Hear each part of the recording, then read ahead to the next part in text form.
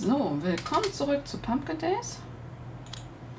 Ich bin jetzt wieder an der Kochstation, versuche noch die viele Kamille, die ich gekauft habe, in Tee umzukochen. Muss mich beeilen, denn ich wollte noch einmal wenigstens zum Markt noch einmal verkaufen und einkaufen. Äh, und einkaufen, ja, nicht einkochen. Irgendwann haben wir Kekse oder ein Pferd. Und dann rennen wir da hoch.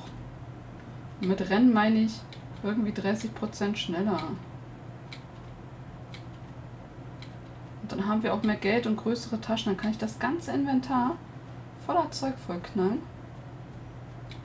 Ich wäre ja schon super froh, wenn ich genug Geld hätte, nochmal ein ganzes Samenpaket zu kaufen. So, ein paar Fische wären vielleicht nochmal gut. Hol mal nochmal... Ah ne, erstmal verkaufen. So, ich gebe hier wieder die 1000 ein, damit er wirklich alles verkauft. Und bei den Fischen hole ich nochmal 100. Wie gesagt, bis der Honig äh, so weit ist, äh,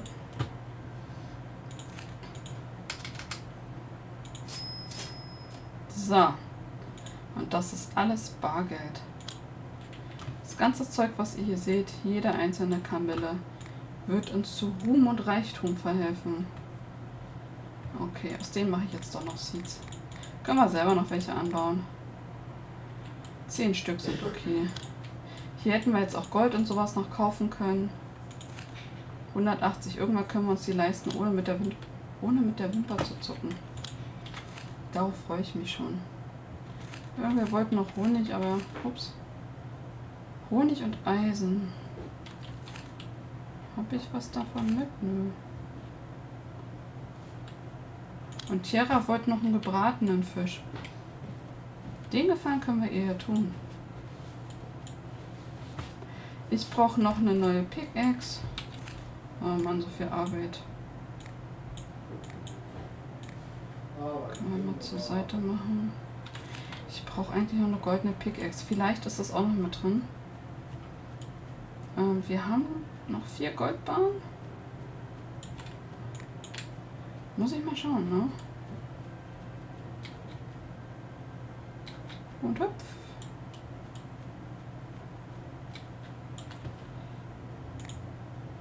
So, jetzt haben wir es nicht mehr eilig. Das Einzige, was wir noch machen müssen, ist unsere Pflanzen bewässern.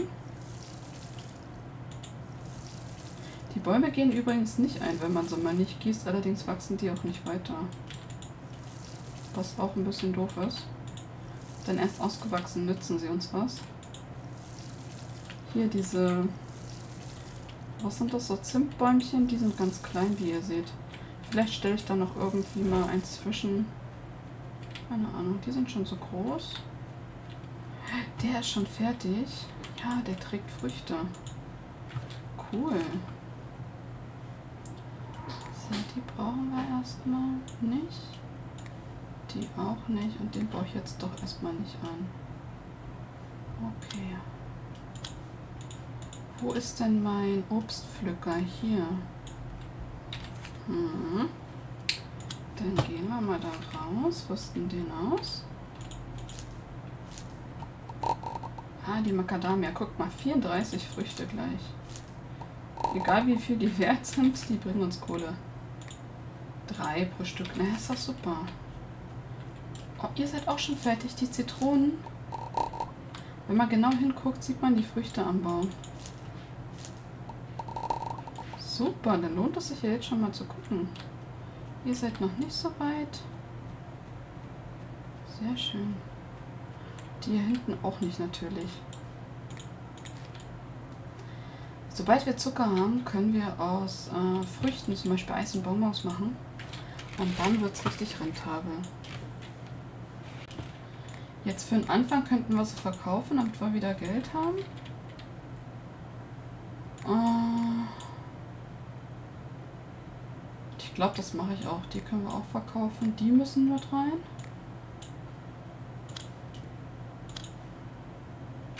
Nee, warte mal, die Schaufel brauche ich doch nicht. Die auch nicht. Ja, ich gehe das mal verkaufen. Moment. Und danach gieße ich weiter, bis es dunkel wird. Ich hoffe, ich schaffe es noch. Hm, Kleinvieh macht auch Mist. Das heißt, kleine Dinge lohnen sich manchmal auch. Und manchmal machen sie auch Arbeit wie große Dinge. So. Hier ist alles fertig. Das werde ich jetzt erstmal nicht gießen. Aber hier sind noch Sachen, die gegossen werden müssen. Darum kümmere ich mich jetzt natürlich zuerst. Gut, dass es hier nicht so dunkel wird, dass man gar nichts mehr sieht, oder? Für euch ist es vielleicht ein bisschen dunkel. Aber für mich geht's noch. Ich habe gesehen, wir können eine äh, Steinlaterne craften. Da muss ich mich mal noch mal erkundigen, wie das ging. Denn dann hätten wir hier ein bisschen Licht. Das wäre doch eigentlich schön, oder?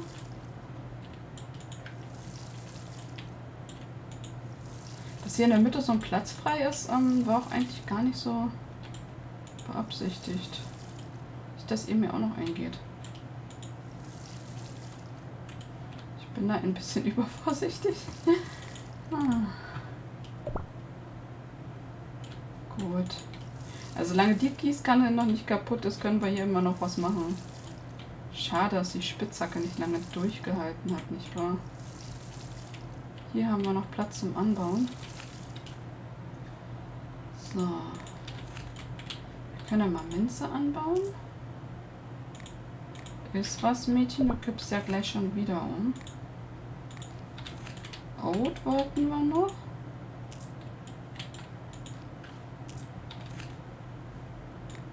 Okay, die Sachen sind jetzt erstmal, die rennen uns nicht weg. Fischfilet warten wir, bis wir wieder Honig haben. Ähm, das heißt im Grunde könnten wir den Fisch hier erstmal lagern. Die beiden. Den anderen lassen wir drin, dass wir denk dran denken, den zu verarbeiten. So. Und sobald wir genug Honig haben, machen wir da weiter. Bei unserem Experiment. Haben wir jetzt eigentlich alles gemacht? Nein, hier war noch was reif. Ah, Wasabi. Muss ich auch mal gucken, ob sich das lohnt, das anzubauen. So, Wasabi, zeig mal her. Fünf Stück, also fünf Gold bringst du. Ups. Du brauchst fünf Tage. Okay. Das ist jetzt erstmal nicht so pralle. Was passiert, wenn wir Wasabi hier reinpacken? Nichts. Hm. Tja, das hat jetzt nicht so viel gebracht, wa? Wie lange braucht Zucker? Fünf Tage. Wir können ja noch ein Zuckerfeld anbauen. Ah, einmal Zucker anbauen. Hier ist alles voll. Hier können wir aber ernten. Ah, die schwarzen Bohnen, die wir brauchen. Oh, das sind mehr als ich dachte. Viel mehr als ich dachte. Cool. Wie rentabel seid ihr denn so? 5 Gold.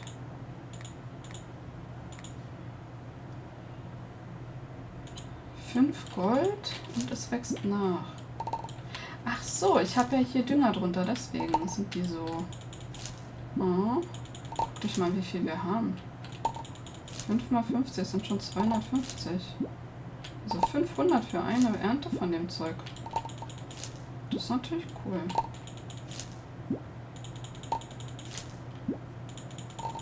Dieses ganze Gemüse können wir jetzt erstmal verkaufen, weil ich dafür auch noch gar keine Rezepte weiß. Dann kommen wir unser Farmcode ein bisschen näher. Sicherheitshalber nochmal was essen. Die sind auch bald soweit. Ist auch alles bepflanzt. Super. Äh, die gieße ich mal nochmal. Das äh, ist hier eine gute Einnahmequelle mit den schwarzen Bohnen. Nicht übel. Wenn man Sachen verkocht, bringen die wirklich mehr. Nur im Moment. Haben wir davon noch welche? Ja, komm, ich mache nochmal 18, dann machen wir noch so ein Doppelfeld. So viel Kohle, wie die bringen.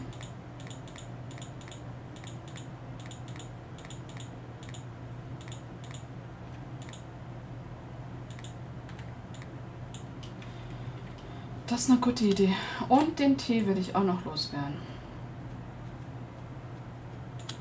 Ja, und wie ich den Tee loswerden will. Wir kochen jetzt Tee bis zum Umfallen. Und dann ist die Folge vermutlich auch gleich wieder zu Ende. Wir werden das nächste Mal richtig, richtig viel Geld haben, wenn wir auf den Markt gehen wollen. Oder ich hole schon vorher ab, um noch ein paar Fischstationen zu holen. Dann können wir schneller die Fischfilets herstellen. Die bringen ja auch immerhin 10 Gewinn, genauso wie die Kamille. Kamille gibt es nicht immer, aber die ähm, Fischarten gibt es oft. Den Bream gibt es fast immer. Ansonsten der zweite Fisch, der auch noch so halbwegs rentabel ist, ist dann die Flunder. Die kostet 5 mehr. Aber da machen wir auch 5 plus. So, wenn wir das ganze Zeug verkaufen. Ähm, Tee. Einmal behalte ich. Wenn wir wieder in die Mine gehen, brauchen wir die Energie.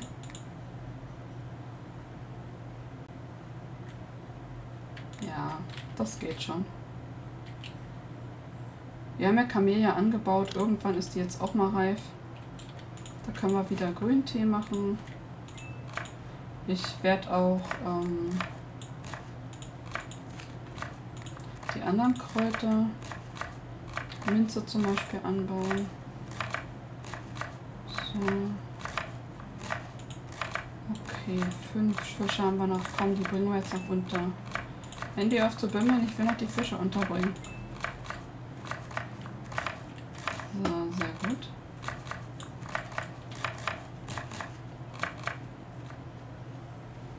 Ich weiß gar nicht, ob ich zu viel gekauft habe, weil eigentlich haben wir hier jetzt noch 100 Stück drin. Bis ich 100 Honig habe, da fehlen mir noch eine Menge Bienenhäuser. Also, ich gehe jetzt mal den schnellen Weg und werde folgendes machen. Ich verkaufe die hier noch. Dann haben wir wieder Platz. Ich glaube, das ist eine gute Idee. Und hier hätte ich gern noch ein Feld.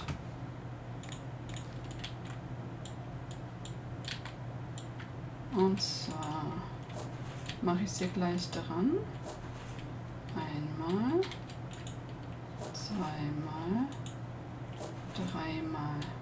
So, jetzt haben wir hier zweimal neun Felder.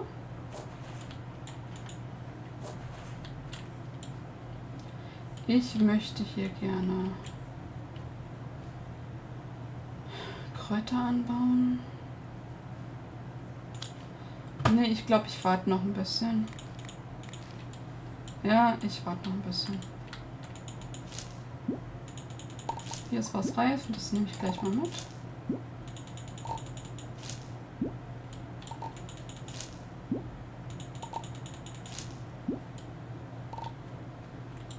Drei, drei und da fehlt dann wieder eine Reihe.